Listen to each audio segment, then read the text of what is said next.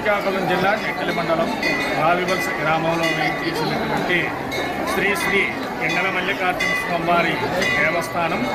ఈ వికారనామ సంవత్సరంలో ఈ మహాశివరాత్రి ఉత్సవాలు అనేవి చాలా ఉత్సాహంగా అంగరంగ వైభవంగా జరుగుతూ ఉన్నాయి.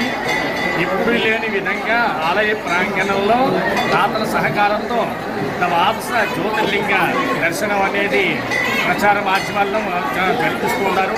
అలాగే భక్తులందరికీ కూడా ఉచిత ప్రసాదాన్ని అలాగే ఉచిత దర్శనాన్ని కూడా కల్పిస్తూ ఉన్నారు దేవాదాయ శాఖ వారు. అలాగే ఈ స్వామివారు ఈ సంవత్సరం అభివృద్ధి పదంలో ముందుకు తీసుకొస్తూ ఉన్నారు. డెబ్బై లక్షల విరా అంటే పద ప్రభుత్వ పథకంతో శీర్షాంశం నిర్మాణం అని అంటే ప్రపోజల్లో పెట్టుకున్నారు. దాని గురించి మన ఆర్జేసీ గారు మననే విజిట్ చేసి ఆ నిధుల గురించి ఆరా తీశారు. ఇటువంటి అవకాశాలన్నీ కూడా ఈ ఎండల మల్లికార్జున స్వామివారి దేవస్థానానికి అభివృద్ధిలో ముందుకు వెళ్ళడానికి దోహదపడతారని మేము ఆశిస్తున్నాం.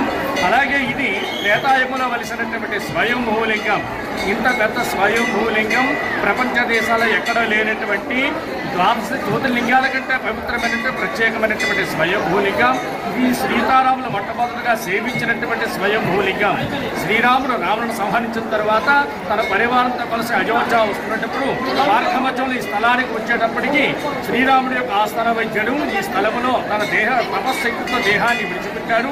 అప్పుడు హనుమంతుడు ఈ విషయాన్ని ఎవరికి తెలియజేయకుండా సుషణ్ యొక్క కలేభరాన్ని స్థమలో సమాధి చేసి అయోధ్య వెళ్ళిపోయాడు.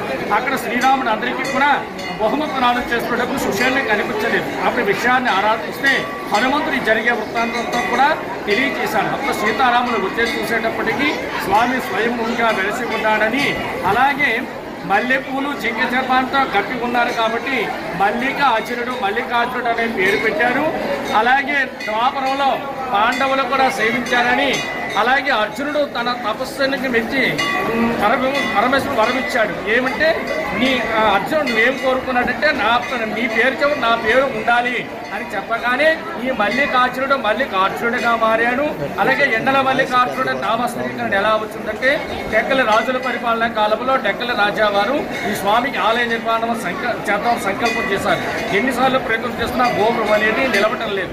అప్పుడు రాజావారు తప్పన చెందారు. సంకల్పంతో భగవత్ సేవ చేయాలంటే ఎందుకు ఇలా జరుగుతుంటారు అప్పుడు స్వామివారి కళలోకి వెళ్ళి భగవంతుని యొక్క యథార్థ తత్వం నిరాకారం నిర్వికారం అది తెలియజేయాలంటే ఎటువంటి హంగులు ఆర్భాటాలు ఏమీ కూడా ఉండకూడదు.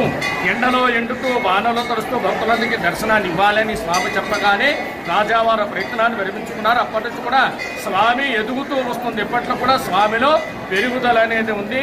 కోరిన కోరికలు తీర్చే కొంగుమారంగా వెలిసినటువంటి శ్రీ ఎండలమల్లన్న దివ్య క్షేత్రం దర్శించినటువంటి ప్రతి భక్తులకు కూడా ఆయురారోగ్య ఐశ్వర్య సమకూర్తాన్ని భక్తుల యొక్క ప్రాణాగాన విశ్వాసం నమ్మకం. కాబట్టి భక్తులు యావన్న కూడా స్వామిని సేవించి ధరిస్తారని ఆశిస్తున్నారు